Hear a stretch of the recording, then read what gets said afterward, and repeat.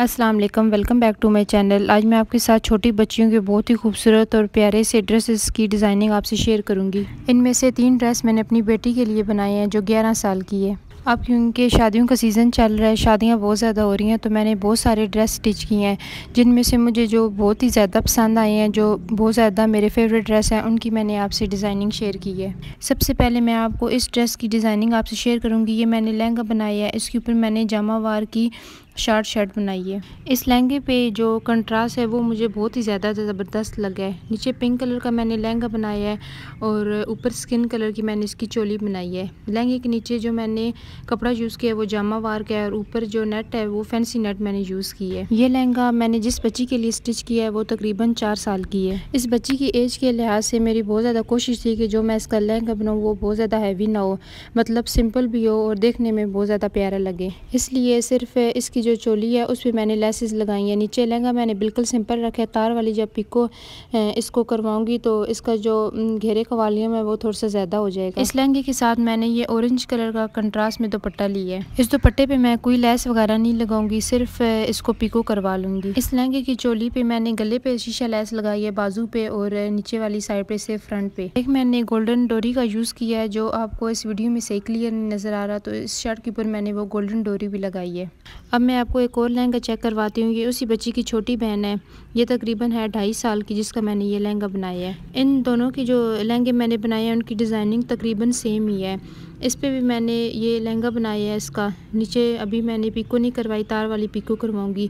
इसकी जो शर्ट है वो थोड़ी सी मैंने डिफरेंट बनाई है। इसकी शर्ट पे सिर्फ़ गले पे और बाजू पे मैंने शीशा लेस लगाई है और पिंक कलर की जो पट्टी है वो मैंने बाजू पे और नीचे लगाई है। इस पर भी मैंने जो दुपट्टा लिया है वो ऑरेंज कलर में लिया है। दोनों लहंगे मैंने चुनट वाले बनाए हैं। अब मैं आपको एक और ड्रेस चेक करवाती हूँ। ये ड्रेस भी नहीं बच्चियों के हैं जिनके मैंने ये लहंगे स्टिच किए बच्चियों की पुप्पो की शादी है तो उन्होंने जो लहंगे मैंने स्टिच किए हैं वो तेल मेहंदी वाले दिन डालने हैं और ये जो ड्रेस मैंने स्टिच किया है।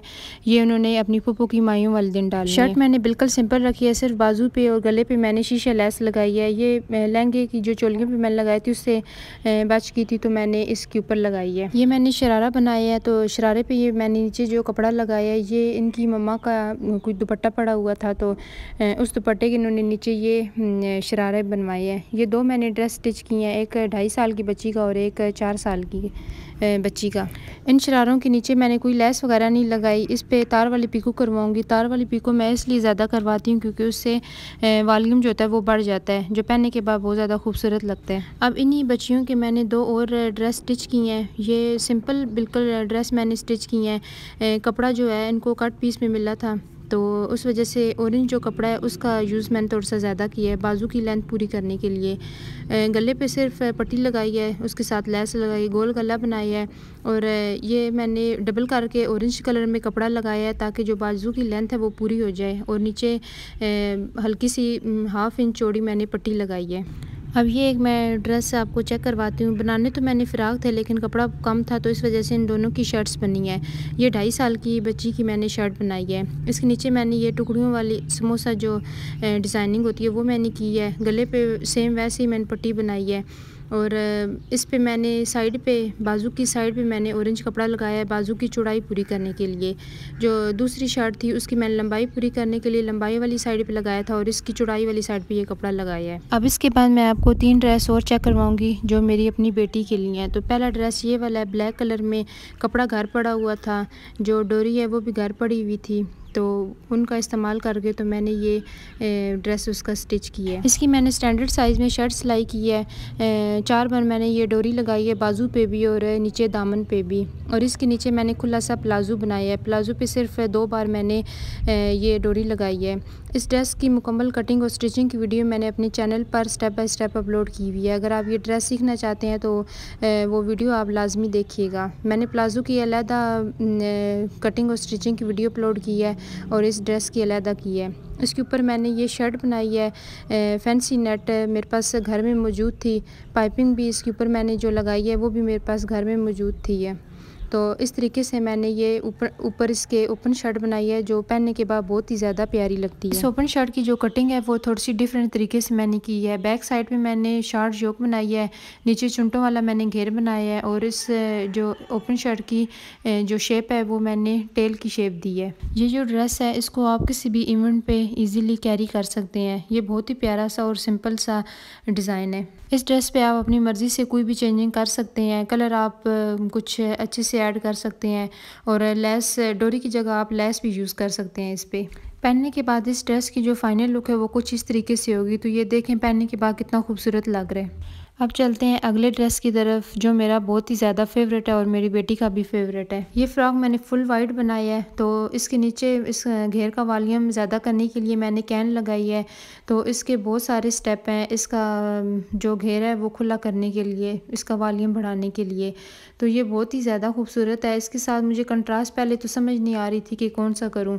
बहुत ज़्यादा कलर रखने के बाद जो ऑरेंज कलर है वो मुझे इसके ऊपर बहुत ज़्यादा अच्छा लग रहा था और इससे पहले मेरी बेटी ने ये कंट्रास्ट कंट्रास्ट डाला भी नहीं था। कंट्रास्ट में मैंने फ्रेश ऑरेंज कलर में ये फैंसी नेट लिया है, बाजू मैंने कफ वाले बनाए हैं, आगे मैंने ये बाजू चुनट वाले रखे हैं, आगे मैंने इलास्टिक डाला है। इस शर्ट पर मैंने लटकन वाली लैस गोल्डन कलर में यूज़ की है, जो पहनने के बाद बहुत ही ज़्यादा खूबसूरत लग रही थी।